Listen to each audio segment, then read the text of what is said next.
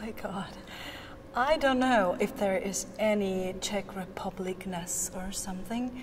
Um, I, I've never had the idea that we, we, we have something like uh, that everyone in Czech Republic has inside or something. I think we are still very, you know, there are many varieties of people in our in our uh, republic, as I think is in Poland, is the same.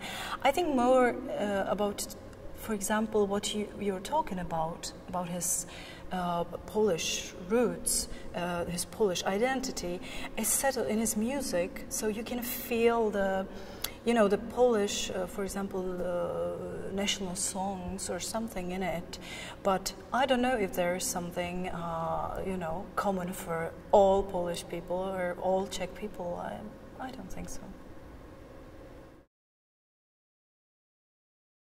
Of course, when I, when I sing Baroque music, I always find myself trying to imitate such instruments like oboe is, or, uh, for example, cornetto, which is uh, great to imitate when you're a soprano, of course. But here was different because I don't have much experiences of, uh, you know, with singing this kind of music and with historical piano.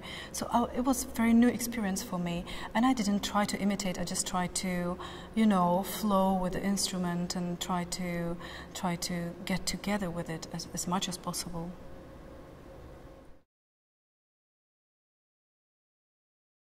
I have no idea because I think that the things that we know about Chopin maybe are not what Chopin was exactly. We just know a little bit about, about his life. We know maybe some letters, something like that, but we don't know exactly what person, what kind of person he was.